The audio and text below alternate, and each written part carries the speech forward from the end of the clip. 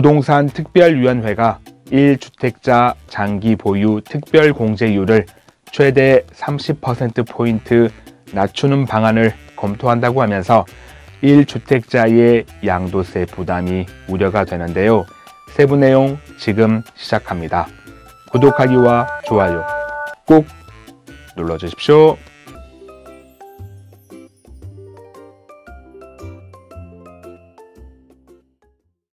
네, 안녕하세요. 박찬웅의 부동산 쇼 부자남 박찬웅입니다. 앞으로 1세대 1주택자가 주택을 팔아서 5억 원 이상의 양도 차익을 남긴다면 양도세 중과를 받게 될 것 같습니다. 부동산 특별위원회가 1주택자의 양도세 비과세 기준 금액을 9억에서 12억으로 올리는 대신에 장기 보유 특별 공제를 양도 차익에 따라 차등 적용하면서 최대 30%포인트 축소하는 방안을 검토한다고 하는데요. 과연 1주택자의 양도세 부담은 얼만큼 늘어나고 이에 따른 부작용은 없을지 알아보겠습니다. 부동산 특별위원회가 1주택자 장기 보유 특별공제 혜택 축소 방안을 검토한다고 합니다. 이 내용은 지난 6월 8일 날 매일경제에 보도가 됐던 기사에 나온 내용인데요. 그 기사를 참고했다는 것 먼저 말씀드리고요. 사실 지난 5월 27일 날 부동산 특별위원회가 세제 개선 방안을 발표할 때 1세대 1주택 양도세 비과세 기준 금액을 9억에서 12억으로 올리겠다라고 했었습니다. 그런데 그 개선안이 발표가 되고 나서 당 내에서도 양도세 규제를 풀어주는 거 아니냐, 부자 감세가 아니냐라고 반발 여론이 확산되다 보니까 그 여론을 감안해서인지 9억에서 12억으로 기준 금액을 올리는 대신에 1세대 1주택자 장기 보유 특별 공제율을 양도 차익에 따라서 차등적으로 적용하면서 최대 30%포인트 축소하겠다 라고 한 겁니다. 제가 앞서 서두에서 이렇게 되면 1주택자의 양도세가 중과될 수 있다 라고 말씀드렸는데 더 정확히 말씀드린다면 경우에 따라서 여기서 말하는 경우는 양도 차익에 따라서겠죠. 경우에 따라서 1주택자의 양도세가 지금보다 더 많이 내게 될 수 있다 라고 이해하시면 되는데 아직 결정된 건 아닙니다. 왜냐하면 이러한 내용은 법을 바꿔야 하는 부분인데 법을 바꾸기까지 과정이 필요하니까요. 그리고 아직 당 내에서도 결정된 안은 아닙니다. 원래 계획은 6월 11일 날 정책의원 총회에 상정해서 당론으로 결정하려고 했는데 코로나로 인해 연기됐기 때문에 앞으로 어떻게 결정될지는 지켜봐야겠습니다. 자, 그러면 1주택자 장기 보유 특별 공제율이 어떻게 달라지는지 알아볼 텐데요. 표로 설명드리겠습니다. 표를 보시면 현재 적용받는 장기 보유 특별 공제율과 앞으로 부동산 특별위원회가 바꾸겠다라고 하는 장기 보유 특별 공제율을 비교할 수가 있습니다. 먼저 현재 조건에서 10년 보유하고 10년을 거주한 그 요건을 모두 충족했다는 가정하에 양도 차익과 무관하게 보유 요건에서 40%, 거주 요건에서 40%, 최대 80% 장기 보유 특별 공제율을 적용받을 수가 있었는데 개편안을 보시면 마찬가지로 10년 보유하고 10년 거주한 이 요건을 모두 충족했다는 가정하에 거주 요건에서 40%는 그대로 두지만 보유 요건에서 양도 차익에 따라 차등적으로 적용하겠다라는 겁니다. 그래서 양도 차익이 5억 미만이라면 40% 장기 보유 특별 공제율을 적용하고요.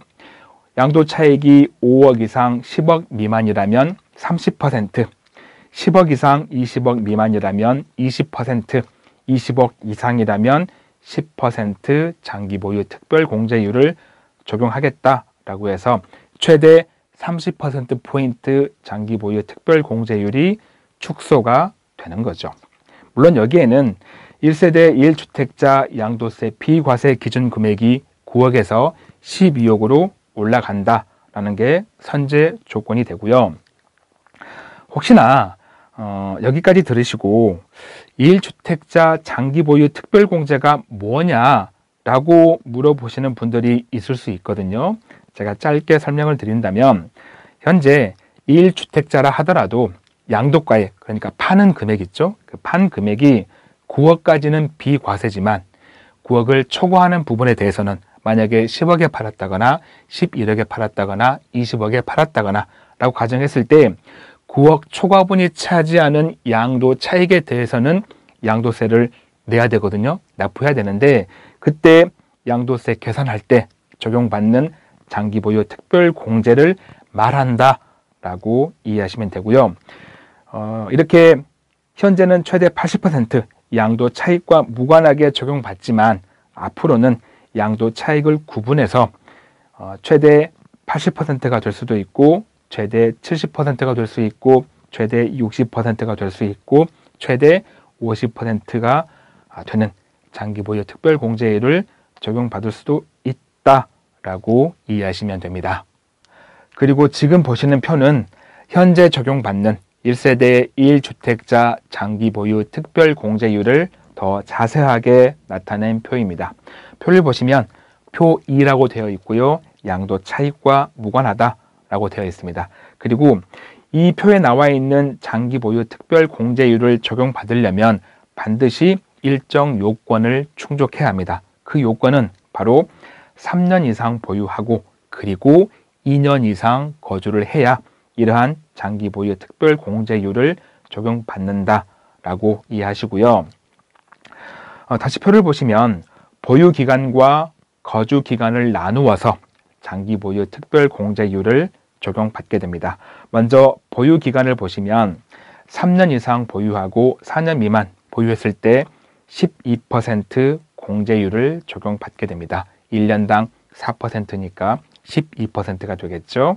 그리고 각각 어, 보유 기간이 더 늘면서 연 4%씩 증가하다가 최대값인 10년 이상 보유했을 때 40% 공제율을 적용받게 되고요. 거주 기간을 보시면 2년 이상 3년 미만 거주했을 때 8% 공제율을 적용받습니다. 1년당 4%니까 8%가 되겠죠. 마찬가지로 연차가 쌓이면서 거주를 쭉 했다면 1년에 4%씩 증가해서 최대값인 10년 이상은 40% 공제율을 적용받게 돼서 보유기간과 거주기간을 다 더한다면 최대값은 80%가 되는데 앞으로 바꾼다는 건 이 거주기간은 그대로 두고 보유기간만 양도 차익에 따라서 차등적으로 최대값을 바꾸겠다라는 겁니다. 그래서 양도 차익이 5억 이상 10억 미만이라면 최대값이 30%니까 1년당 3%를 적용하겠다라는 거고요. 양도 차익이 10억 이상 20억 미만이라면 최대값이 20%니까 1년에 2%씩 적용하겠다라는 거고 양도 차익이 20억 이상이라면 최대값이 10%니까 1년당 1%씩 적용하겠다라고 이해하시면 되겠습니다. 그리고 참고로 만약에 이러한 표에 나와 있는 장기 보유 특별 공제율을 적용받기 위한 그 요건 3년 이상 보유 그리고 2년 이상 거주 이 요건을 충족하지 않았다면 어, 그러니까 2년 거주하지 않을 때가 많겠죠. 이때는 일반적인 장기 보유 특별 공제율 1년당 2%씩 최대 30% 장기 보유 특별 공제율을 적용받는다라고 이해하시면 됩니다. 이번에는 1주택자 장기 보유 특별 공제 축소에 따른 양도세 변화를 표로 살펴보겠습니다. 현재는 양도가액 9억까지가 비과세를 적용받지만 개편하는 양도가액 12억까지 양도세 비과세를 적용받게 됩니다. 참고로 이 표는 어, 모든 경우의 수를 대표하지 않습니다. 제가 일정 요건으로 어, 했기 때문에 어, 최대가가 얼마인지 그리고 파는 금액이 얼마인지 경우의 수가 다양하지만 어, 한번 한 예로 참고하시면 좋겠습니다. 만약 양도 차익이 5억이라면 현재 기준 장뚜껑 최대가 80%를 적용받으면 양도세가 약 348만 원인데 개편안은 장뚜껑 최대값이 70%니까 양도세가 약 60만 원. 12억까지 비과세 받다 보니까 지금보다는 세금을 더 적게 내게 됩니다. 만약 양도 차익이 9억이라면 현재 장뚜껑 최대값 80%를 적용받을 때 양도세가 약 1260만 원인데 개편안은 장뚜껑 최대값 70%를 적용받아서 양도세는 약 785만 원. 역시나 12억까지 비과세 받다 보니까 지금보다는 세금을 더 적게 내게 되겠죠. 자, 하지만 이제 양도 차익이 10억을 넘어가게 되면 상황은 달라집니다. 만약 양도 차익이 10억이라면 현재 장특공 80%로 계산했을 때 양도세는 약 1,670만 원인데 개편안은 장특공 최대값이 60%를 적용받아서 양도세는 약 2,115만 원. 지금보다 더 많이 내게 되고요. 양도 차익이 19억, 20억, 21억 이렇게 차익이 많을수록 양도세는 지금보다 개편안이 훨씬 더 많이 내게 된다라고 이해하시면 되는데 정리해 본다면 양도 차익이 10억 미만이라면 지금보다 개편안이 세금을 좀 덜 내게 되겠지만 양도 차익이 10억을 넘어가는 차익이 많이 발생할수록 양도세는 지금보다 개편안이 훨씬 더 세금을 많이 낸다라고 이해하시면 되겠습니다. 이번에는 1주택자 장기 보유 특별 공제율을 최대 30% 축소했을 때 부작용은 없을까라는 부분인데 만약 이렇게 혜택이 축소가 된다면 첫 번째는 앞선 표에서 보신 것처럼 고가 주택일수록 양도 차익이 많을수록 지금보다 1주택자라 하더라도 양도세 부담이 훨씬 더 늘잖아요. 그러면 결과적으로 어, 지금 집에서 조금 더 나은 조건, 우리가 상급지라고 하는데 뭐 새 집이거나 아니면 좋은 지역이거나 이렇게 갈아타기 할 때 이게 어렵다는 거죠. 그래서 일부 이제 어 1주택자라 하더라도 연세가 많으신 분들 또는 어, 소득이 좀 없으신 분들은 불만이 많죠. 아니 이거는 이사도 마음대로 못 가는 거냐, 음, 뭐 상급지 이주 금지 정책 아니냐라고 얘기하는 거죠. 왜냐하면 지금 집을 판 금액으로 어, 이사 갈 때 같은 금액으로 하더라도 갈 수가 없는 거죠. 세금 내고 나면. 그래서 어, 좀 불만이 많을 것 같고 또 한 가지는 음, 부작용이 고가 주택일수록 집값이 더 오르지 않을까.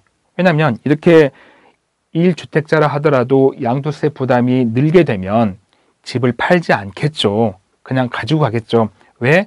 팔아도 더 나은 대로 이사 가기가 힘드니까. 세금 내고 나면 집을 살 수가 없으니까.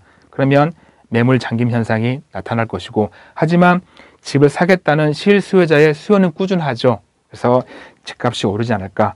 설사 어, 집을 만약에 판다 하더라도 실제 시세보다 조금 높게 내놓겠죠. 왜냐하면 본인이 내야 될 세금을 감안해서. 그런데 어, 시세보다 높게 나온 집을 누가 사지 않으면 다행인데 정말 필요한 실수요자는 또 그 금액의 집을 사거든요. 그러면 집값이 또 올라가겠죠. 그래서 어, 일단 음, 고가 주택일수록 집값이 올라가는 현상이 발생하지 않을까. 그리고 1주택자가 집을 좀 더 나은 조건으로 이사 갈 수 있는 이 여건이 되지 않아서 어, 고령자이거나 소득이 좀 불안정한 1주택자의 불만이 많지 않을까 예상을 해봅니다. 이렇게 부동산 특별위원회가 검토 중인 1주택자 장기 보유 특별공제율을 최대 30%까지 축소하는 그 안을 살펴봤는데요. 개인적으로는 1주택자 보호 원칙에 맞는 것인가? 라는 의문이 듭니다. 왜냐하면 정부가 그랬죠. 주택은 투기 목적이 아닌 주거 목적이니까 하나만 가지고 있어라. 그렇다면 1주택자는 정말 정부의 말을 너무나 잘 듣는 거예요.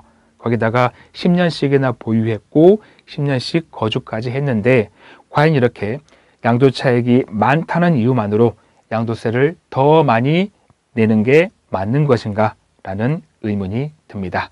좀 더 현실적인 방안을 찾았으면 좋겠다 하는 바람입니다. 마무리할 시간입니다. 저에게 큰 힘이 되는 구독하기와 좋아요, 알림 설정 꼭 눌러주시고요. 저는 다음 영상에도 최선을 다하겠습니다. 고맙습니다.